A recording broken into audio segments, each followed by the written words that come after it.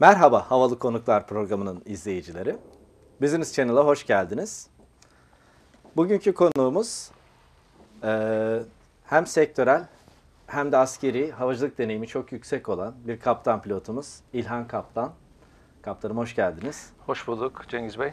İlhan Kaplan e, benim e, 86 yılından beri arkadaşım, kardeşim aynı zamanda. Onu böyle programda ağırlıyor olmaktan da büyük hem sevinç duyuyorum hem şeref duyuyorum. E, uzun süredir bir araya gelmek istiyorduk. Bunu da bahane olarak gördük sayın izleyiciler. E, biz zaten sohbet etmeye başladık. Bir kısmını sizle paylaşmış olacağız. Sonra devam edeceğiz. Tekrar hoş geldiniz. Teşekkür ederim. Benim için de çok büyük bir keyif, çok büyük bir zevk. Bahsettiğiniz gibi 86 yılından beri e, süre gelen bir dostluk, arkadaşlık, e, kardeşlik diyelim aslında. Aynen öyle, E, sık sık zaten karşılaştığımız, görüştüğümüz, e, konuştuğumuz şeyleri burada biraz daha renklendirerek e, seyircilerle paylaşacağız inşallah. İnşallah. Peki seyircilerimiz için söyler misiniz? İlhan Kaplan, kaptan kimdir? Ee, Ee, hayatınızdaki böyle dönüm noktaları nelerdir? Minibüs yakalama haricinde. Onu sonra anlatalım artık. tamam. Başka bir programda anlatırız Tamam. onu. 1971 yılında Kırıkkale'de doğdum. Ee, İlkokulu, ortaokulu orada okudum. Sonra asker liseye girdim. Beraber girdiğimiz e, dönemde 86 yılında. E, sonuna doğru ilk girdiğimde ben e, havacı olmayı hayal etmiyordum işin açıkçası. E, asker lisenin sonuna doğru e, havacı olmaya karar verdim. Daha keyifli gibi geldi. Onda da şey gördüm. E, Hava Arbakun üniformasıyla öğrencileri gördüm. Dedim ne kadar yakışmış, ne kadar güzel. Öyle başladı işin Siz açıkçası. zaten pek üniforma giymiyordunuz. Jimnastik takım olarak genelde eşofmanla Doğru o dolaşıyordunuz. da var. Hatta o alışkanlık devam ediyor. Hala hiç ceketi yok diyenler Yok. var sizin için. Yok Doğru mudur? ceketim yok. İşte en son kız kardeşimin düğününde aldığım ceket duruyor. Hala giyemedim. Ee, orada e, karar verdim ama işte çok profesyonel bir karar değildi işte. Hani havacı olalım o zaman da konuşuyoruz. Uçuş keyifli, daha havalı falan diye. Sonra hava harp okuluna girdim. Ee, 94 yılında hava harp okulundan mezun oldum. Bahsettiğin gibi eşofmanla geçmiş bir 4 yılın ardından 94 yılında mezun olduktan sonra uçuş okulu, 2 yıl çok zorlu bir uçuş okulu. Uçuş okulunu takiben e, F5 Harbi Hazırlık Konya. Oradan e, kurada F-16'yı çektim, F-16'ya gittim. E, uçma fırsatım olmadı. Sağlık nedeniyle nakliye uçağına geçtim. Yani sağlık nedeniyle hava kuvvetlerinden 2000 yılında emekli oldum. Emekli olduktan sonra bir 6 ay, tabii sektörün çok kötü olduğu bir dönemdi. Bir 6 ay sürdü benim e, işe başlamam. E, Pegasus Hava Yolları'nda başladım ilk 2000 yılının Kasım ayında. Ben çok özür dilerim. Burada bir şey e, saptama yapmak istiyorum. Sevgili izleyiciler, havacılık sektörel olarak cycle industry dediğimiz ve belli döngülere sahip bir endüstridir. Ve e, hem turizmle doğrudan bağlantılı olduğu için ve hem de doğrudan yaşantımızın bir parçası olduğu için her 10 yılda ya da 15 yılda e, hele bizimki gibi de gelişmekte olan ülkelerde devalüasyona bağlı olarak bazı krizler yaşanır. Havacılık da bundan en çok etkilenendir. Zaten ekonomik kriz nasıl inşaatta başlayıp inşaatta bitiyor.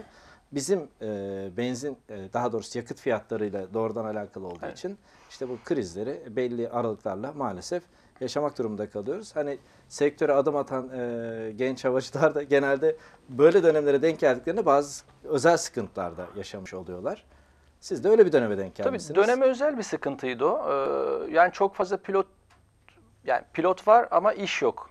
Evet. Ee, şirketlerin elinde yeterince adam var. Ee, Türk Hava Yolları o zaman hiç unutmuyorum e, bizim filo komutanımız ayrılmıştı. Türk Hava Yolları'nın dedi ben ayrıldım hala ikinci pilot olarak görev yapıyordu Türk Hava Yolları'nda. Çünkü e, yeni uçak girişi yok, sektörü büyümüyor. Dolayısıyla uzun süre ikinci pilotluk yapmak zorunda kaldılar onlar. Ee, tam o, döne, o döneme denk geldi benim ayrıldığım dönem. Ee, ama ben nispeten şanslar arasındaydım. Pegasus Hava Yolları'na başladım 1 Kasım itibariyle. Sonra 2008 yılına kadar Pegasus Hava Yolları'nda çalıştım. O dönem e, çok güzel bir okuldu Pegasus Hava Yolları. E, çok Siz güzel, Yer çok güzel, de girdiniz yanlış Tabii. hatırlamıyorsam. çok güzel temeller attık orada sağ olsunlar. E, buradan öğretmenlerimi saygı ve sevgiyle anıyorum. E, çok güzel bir eğitim kurumuydu aslında Airline'dan öte. E, tabii orada e, yer derslerine girmeye başladık. Yer dersleri öğretmenliği siz çok iyi biliyorsunuz. Yer derslerinde siz bir şeyler öğrettiğinizi zannediyorsunuz ama o kadar çok şey öğreniyorsunuz ki. Yani okurken tek yönlü bakıyorsunuz. Ee, karşınızda okuduğu kitaba farklı yönlerden bakan bir sürü insan size değişik sorular soruyor. Onların gözüyle bakmayı öğreniyorsunuz. Dolayısıyla sizin eee, daha iyi gelişmenize sebep oluyor. Öğrenci aslında biraz da size eğitiyor gibi bir durum var. E, 4-5 yıl boyunca böyle bütün e, iniş yıllara hemen hemen girdim. Böyle çok güzel bir altyapı oldu benim için. Hani çok keyifliydi. Sonra 2006 yılında kaptan oldum orada. 2008 yılında da e, gelen teklifi değerlendirip e, business jet'e özel uçağa geçtim. O zamandır da 2008 yılının Ağustos'undan beri de özel uçakta uçuyorum. Evet. Yani bu Hala da devam ediyorum. Airline business tabii çok farklı e, hayat felsefesi. Çünkü pilotluk hani hep söylüyoruz. Sadece e, bir iş değil. Tabii. bir hayat felsefesi, bir hayat algılama biçimi. Bunun içinde düşündüğümüzde e, airline ile business jet arasında da anormal bir fark olduğunu da biliyoruz. E, bunu biraz anlatır mısınız? Ya temel olarak şöyle bir şey var. Şöyle bakmaya çalışıyorum. Benim asıl görevim pilotluk. Evet. Pilotluk nedir? Ee, bir uçağı sağlam, emniyetli bir şekilde teknisyen arkadaştan teslim alıp yolcuyu alıp emniyetli bir şekilde bir yere götürüp oradan tekrar geri getirmek. Yani bir pilotun temel görevi bu. Bunun etrafına bir takım şeyleri örüyorsunuz işin açıkçası. Yaptığınız iş aslında business'ta da yapsanız, airline'da da yapsanız yaptığınız iş aslında bu. Sonuçta e, yaptığınız iş aynı. Aslında pilotluk yapıyorsunuz. E, olay e, diğer şeyler bunun üzerine örülüyor veya iş ö- e, özelinde e, çeşitleniyor. E, nasıl mesela airline'da işte yolcuyla muhatap olmuyorsunuz. Sizin muhatap olmanızı gerektiren bir durum yok. Siz Olmamanız gerekir. olmamanız da gerekiyor zaten. Tabii. Sizin adınıza bu işi yapan insanlar var. Ancak bir kriz anında bir durumda müdahale edebilirsiniz veya konuşabilirsiniz. Doğru. Mesela biz bir gün e, Kayseri, Almanya Kayseri uçuşunu yapıyoruz. E, Kayseri hava kapalı. Kayseri'ye inmek yerine biz e, yedek meydanından Ankara'ya gittik. indik. Yolcu dedi ki biz de inmiyoruz.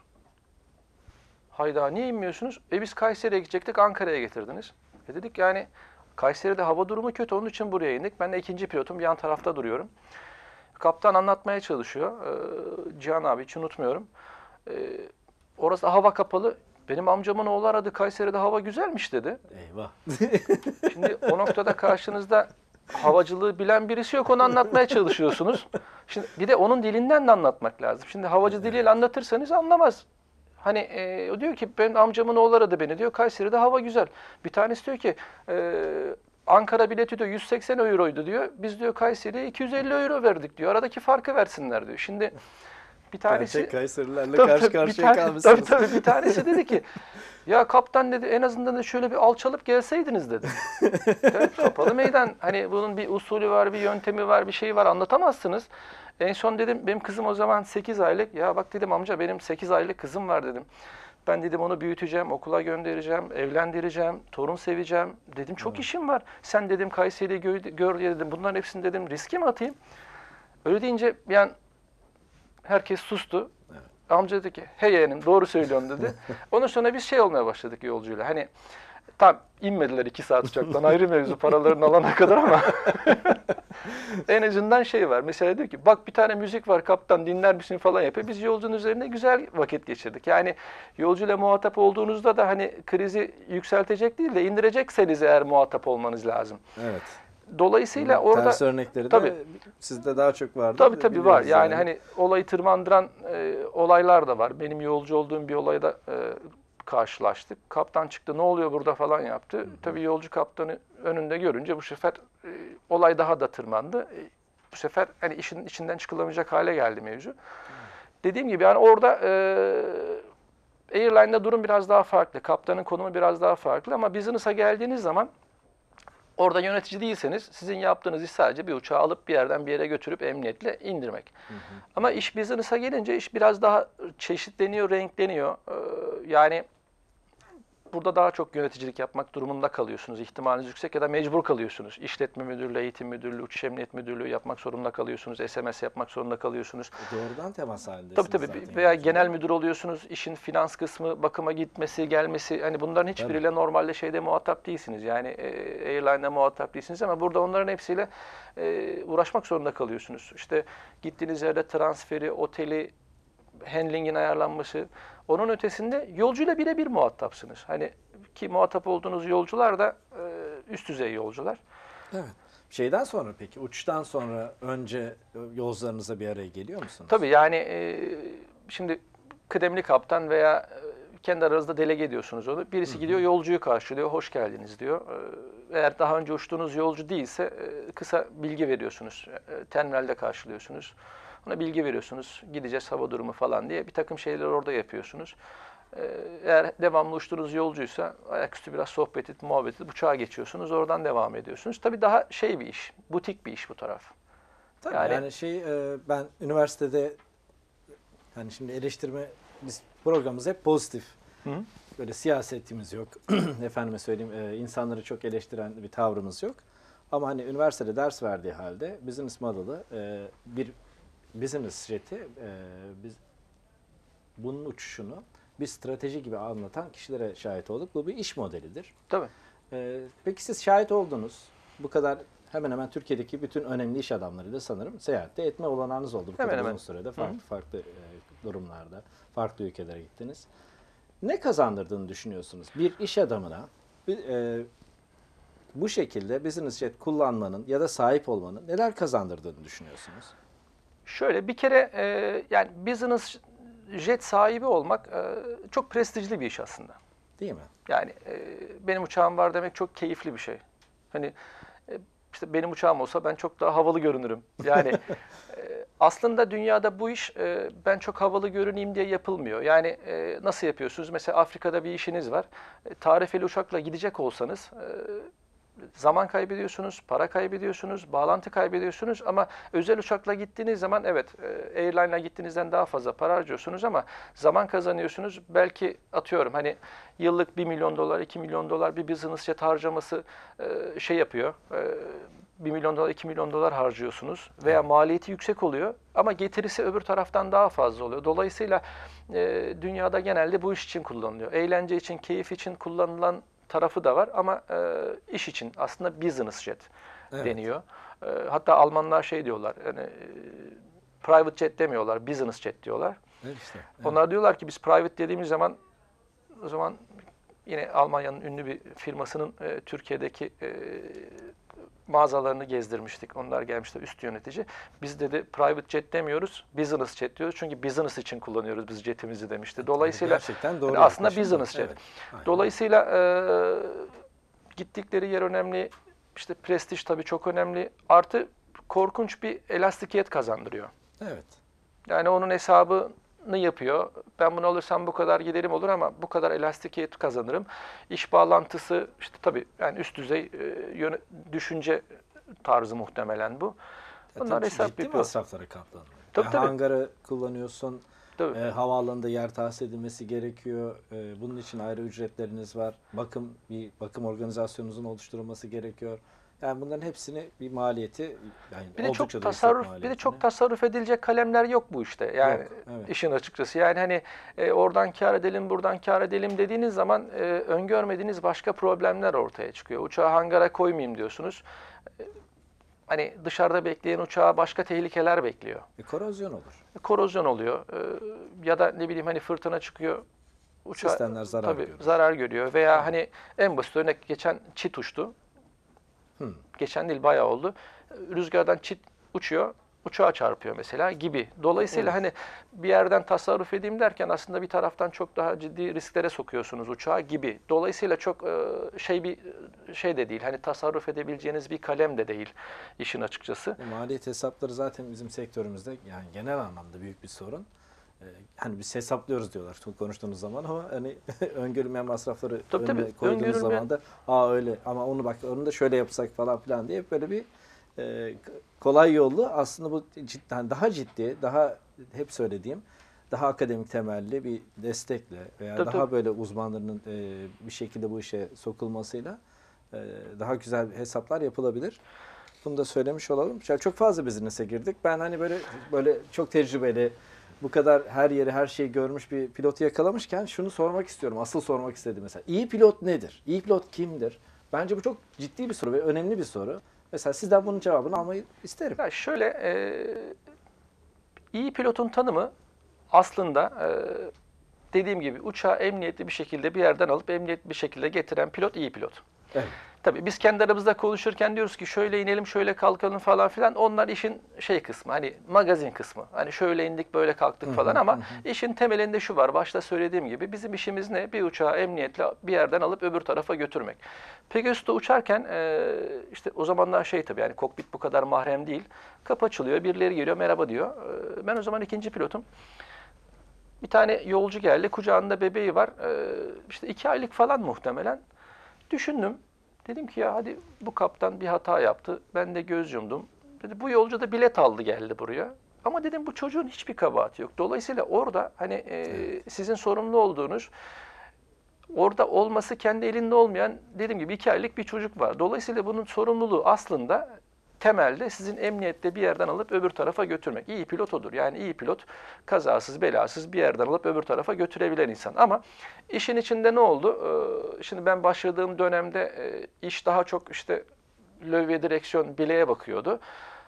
Yetenek ön planda. Yetenek ön plandaydı. Ama sonradan neler oldu? Yeteneğin yanına bir şeyler eklemeniz gerekti. Yani bilgi eklemeniz gerekti, çalışma eklemeniz gerekti, işte kendinizi geliştirmeniz Teknoloji gerekti. okuma dediğimiz. Teknoloji okuma gerekti. E, simülatöre giriyorsunuz. Simülatörde bir ke- kendinizle mücadele ediyorsunuz. Nedir? Stres altında ne iş yapıyorum, nasıl yapıyorum? Birden başıma bir emergency geldi. Onunla nasıl mücadele ediyorsun? Dolayısıyla hani iyi pilot olmanın tek bir tanımı yok. İyi pilot olmanın tanımı aslında bence şu. Yeniliklere açık olup devamlı kendini geliştirmekte. Hı hı. Yani ne kadar açıksanız e, iyi pilot olma yolunda ilerliyorsunuz demektir. Yani bugün iyi pilotsunuzdur, teknolojiyi takip etmezsiniz, 3 sene sonra iyi pilot değilsinizdir. Dolayısıyla devamlı gelişme e, göstermeniz lazım, gelişime açık olmanız lazım. Çünkü teknoloji korkunç hızla ilerliyor Mutlaka. ve onu e, yakalamanız lazım. Ve e, işte sizin de içinde olduğunuz e, güvenlik sistemleri, işte e, işin psikolojik kısmı o kadar çok ayrıntı giriyor ki işin içine. E, Bizim zamanımızda psikomotor çok güzel uçuyor, lövye direksiyon orada bitiyordu ama hava kuvvetlerinde de F-16'nın gelmesiyle çok büyük şeyler değişti. Tabii bir Yani sistem olarak tabii, geldi. Hani bilgi bilgi uçurmaya başladı bir takım. Evet, Bilgili evet. olmak gerektiği. Burada da öyle. Yani artık o kadar çok bilgi gelmeye başladı ki, o kadar çok şey bilmeniz gerekti ki bilmeseniz oluyor muydu? E, oluyordu ama bir aksaklık olana kadar oluyordu. Evet. Yani hayatınız boyunca hiçbir aksaklık olmazsa on numara pilot olarak uçuyorsunuz. Ama 2005'te artık konsept de değişti. Dediler ki ya bu kadar çok bilgi var. e, kaptan operatör olsun sadece. Yani Uçurmaktan uçursun sadece. olsun. Ama Onun e, onun da bir takım avantajları ve dezavantajları var. Yani e, pilota çok fazla operasyonel düşünceden uzaklaştırmak istediler. Yani sen işini yap gel. E, diğer tarafıyla ilgilen ama bu komple bir şey. Yani hani e, Evet. tek taraflı bir ayak tek ayağı yok yani o işin. Anlıyorum. Ben e, hani programda hayatım boyunca zaten bu gençlerin özellikle genç havacıların e, algılarına önem veriyorum. E, gençler için de bazı özel sorular soruyordum. Hani siz sizin genç havacılara önerileriniz de bu cevabın içinde zaten gelmiş olduğu için bunu da not etmelerini kendilerinden e, rica ediyorum. E, yani Türkiye'de havacılığı geleceğini nasıl gördüğünüzü de e, sorayım. Böyle kapatalım programı. Çünkü ben aslında sizde emniyet algılarını, farklı kültürleri gördünüz, tanıdınız. Hı. Bizim emniyet algılarımızla onların algıları arasındaki farklılıkları da sormak, konuşmak istiyordum.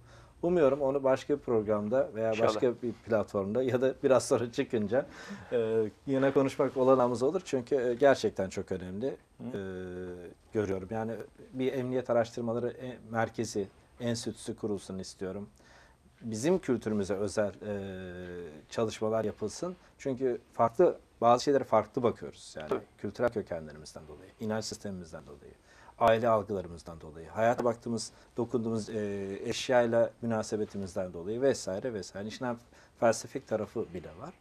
E, bu, bu araştırmalar yapılmalı. Sosyal bilimlerin işin içine girmesi Aynen öyle. gerektiğini düşünüyorum. Bunu ne olur e, sözünüzü alayım, e, konuşalım Hay hay, bir gün bir memnuniyetle. şekilde. E, yani son olarak uygun görürseniz Türkiye'de havacılığın geleceğini de sormuş olayım. Programımızı öyle kapatalım. E, havacılık e, gelişmeye devam ediyor. Dünyada gelişiyor ve Türkiye'de de gelişecek. E, sanki Türkiye'de daha hızlı gelişiyor gibi geliyor bana. Yani e, belirli bir zamana ne kadar etkili oluyor sizce? Bizde hakikaten bunu dönüm noktası söylüyor. dönüm Neden? noktası şuydu aslında. Ee, eskiden iç hatları sadece Türk Hava Yolları yapıyordu. Evet. Türk Hava Yolları'nın haricinde kimse iç hat yapmıyordu. İç hat uçmuyordu. Ee, 2005 yılında iç hat uçma yetkisi özel uçaklara verilince bu sefer sektörün önü korkunç bir şekilde açıldı. Anladım. Yani eskiden Ankara'ya gidip geleceksiniz. Bir tek Türk Hava Yolları vardı. Evet. Ya da Antalya'ya gidip geleceksiniz. Başka şansınız yoktu. Ama Türk Hava Yolları'nın tekelinden çıkıp özel şirketler de e, iç hatlar uçmaya başlayınca e, sektör korkunç bir şekilde hızlı büyümeye başladı. Türk Hava Yolları da bu bağlamda büyümeye başladı. E, şimdi Türkiye'de e, ekonomi görece iyileşti diyelim. Bunun getirdiği bir takım şeyler var. Artı e, mesela ben Afrika'ya çok gittim. Afrika'da iş yapan bir sürü e, iş adamı var. Yani orada iş yapan insanlar var. E, dolayısıyla Türk Hava Yolları oralara hat açmak durumunda kaldı. E, ve e, sektör 2005 yılından itibaren hızla büyüdü. Bunun ihtiyacı da e, bir şekilde karşılanmak zorunda personel olarak. Şimdi uçuş okulları var. E, uçuş okulları tabii uçuş okulları güzel işler yapıyorlar. Çünkü sadece e, hava kuvvetleri veya Anadolu Üniversitesi yetmeyecek buna. Ama e, asıl önem verilmesi gereken şey ki veriyorsunuz e, bu özel e, uçuş okullarının kaliteye önem vermesi lazım. İyi insanlar yetiştirmeye önem vermesi lazım. Yani sektörü ileride tehdit edebilecek şey insan kaynağı. Maalesef yani e, havacılıkta iyi insan kaynağınız yoksa hataya açık veya kazaya açık hale geliyorsunuz. Dolayısıyla hani havacılık gelişecek. Bunu önleyemezsiniz. Önleyemeyeceksiniz de. Çünkü e, ulaşım ihtiyacı gittikçe artıyor. Eskiden binip buradan e, 24 saatte, 48 saatte Kars'a giden adam artık diyor ki ya gerek yok. Hani basit bir para hesabı yapıyor en azından.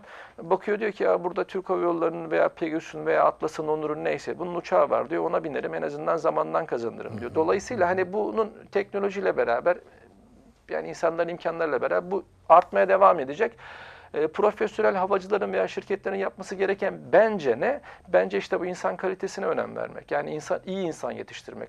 Bu iyi insan yetiştirmek sadece pilot yetiştirmek değil. Doğru. Bunun e, kabin ekibi var ki kabin ekibi var. kontrolörü var. İşte e, teknisyeni var. var. Ha- hatta size var. hizmet veren insanlar var. Yani bu çok ayağı var. Çok. Ee, sadece pilot yetiştirmekle yetmeyecek. Ee, belki meslek liseleri daha şey olacak.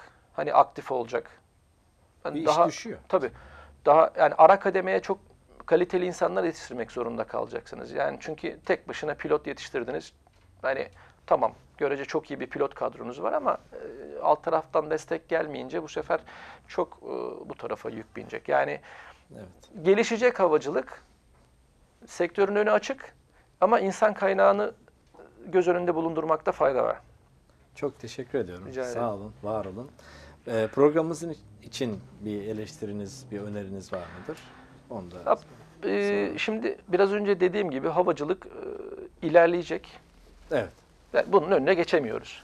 E, profesyonel havacıların halkı bilinçlendirmesi, bilgilendirmesi ve profesyonel sizin gibi havacıların programlar yapıp doyurucu ve kaliteli bilgiler vermesi benim açımdan hani pilot olarak benim açımdan çok keyifli bir şey. Bunun yapıldığını Teşekkür görmek ederim. ayrıca bir keyif hakikaten. Çok hani. Sağ çok yakın arkadaşım, kardeşim dediğim, çok değer verdiğim sizin yapıyor olun. olmanız ayrıca bir keyif.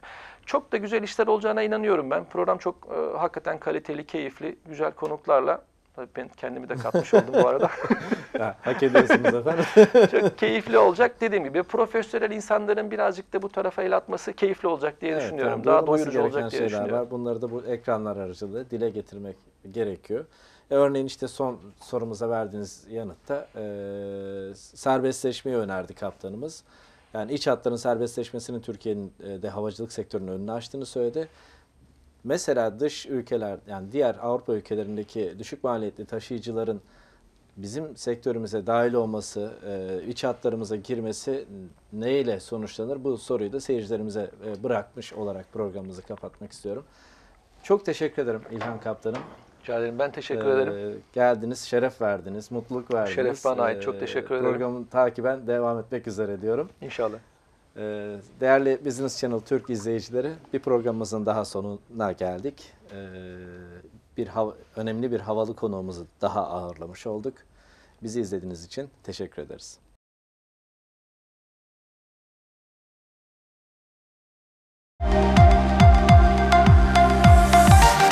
Merhaba Havalı Konuklar programının izleyicileri. Bu hafta Valente Disappearance olarak tarihe geçen çok ilginç bir olayı sizlerle paylaşacağım. Yaşanan bu olay günümüzde bile hala bir çözüme kavuşturulamamış olup gizemini korumaktadır. It is hovering and it is not an aircraft. Görmüş olduğunuz bu sözler Frederick'in kuleye söylediği son sözler olup buradan sonra Frederick'ten haber anlamamıştır. Olaya geçecek olursak 21 Kasım 1978 günü akşam 18.19'da Victor Hotel Delta Sierra Juliet kuyruklu Cessna 182L uçağını kullanan Frederick Valenti adlı pilot, Morabin Havalimanı'ndan King Island'a gitmek amaçlı havalanmıştır. Kalkış esnasında hava durumu uçuşa elverişlidir ve sakin bir rüzgar vardır. Kalkışa müteakip yaklaşık 27 127 mil yol kat ettikten sonra 19.06'da Melbourne Kule ile temasa geçmiş ve yaklaşık 1000 fit üzerinden bir uçağın çok hızlı biçimde geçtiğini rapor etmiştir. Daha sonra aynı uçağın kendisine doğudan yaklaştığını ve diğer pilotun kendisiyle oyun oynadığını düşündüğünü rapor etmiştir. 19.09'da kule Frederick'ten uçağı tekrardan tanımlamasını istemiş ve Frederick uçağı çok süratli olduğundan dolayı sadece uzun diye tasvir edebilmiştir. En son raporundan 30 saniye sonra cismin üzerinde daire çizerek uçtuğunu, metalik parlak bir yüzeye sahip olduğunu ve üzerinde yeşil bir olduğunu söylemiştir. 28 saniye sonraki raporunda uçağın gözden kaybolduğunu söylemiştir. 30 saniye sonra cismin güneybatıdan yaklaştığını ve kısa bir süre sonra motorunun düzgün çalışmadığını rapor etmiştir. En son mesaj olarak bu cisim üzerimde uçuyor ve bu bir uçak değil demiştir. Yaklaşık 17 saniyelik paraz- parazitli mesajında metalik ifadesi anlaşılabilmiş ve Frederick ile iletişim kopmuştur. Bu andan sonra ne Frederick ne de uçağı bir daha görülmemiştir. Olay yerel ve ulusal basında ses getirmiş ve bir merak uyandırmıştır. Olaydan sonra Valenti kayboluşu diye bir tabir doğmuş ve bu isimle kitap yazılmıştır. UFO'lar tarafından kaçırılma iddiası olan bu olayın ilginç yanı Frederick'in UFO'lara çok meraklı bir kişilik olması ve yakın çevresine UFO'lar tarafından kaçırılmaktan çok korktuğunu belirtmesidir. Kazadan 5 yıl sonra Frederick'in uçağına ait küçük bulgular rastlanılmıştır fakat onunla sınırlı kalmıştır. Babası olaydan sonra yapmış olduğu bir röportajda oğlunun düşmektense UFO tarafından kaçırılmış olmasını istediğini söylemiştir. Yapılan kaza soruşturmasında Frederick'in uçuş planında King Island'dan yolcu alıp geri geleceğini belirtmiş olduğunu ve yakın çevresine kerevit almaya gittiğini söylediği tespit edilmiştir. Ancak King Island'da Frederick'in alacağı yolcu olmadığı ve o zaman da kerevit bulamayacağı bulgusuna ulaşılmıştır. Bu kadar bilinmezlik birçok iddianın doğmasına neden olmuştur fakat Frederick'in başına ne geldiği gerçeğine hala ulaşılamamıştır.